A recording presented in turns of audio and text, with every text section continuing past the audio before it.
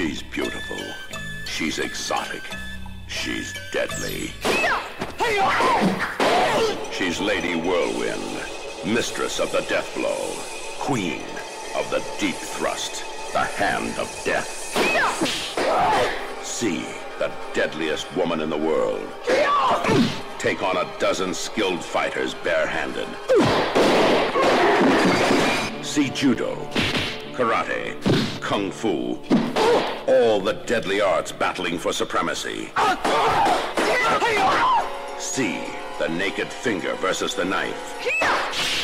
The naked fist versus the club. The naked hand versus the sword. Deep thrust, the hand of death. Rated R, under 17, not admitted without parent.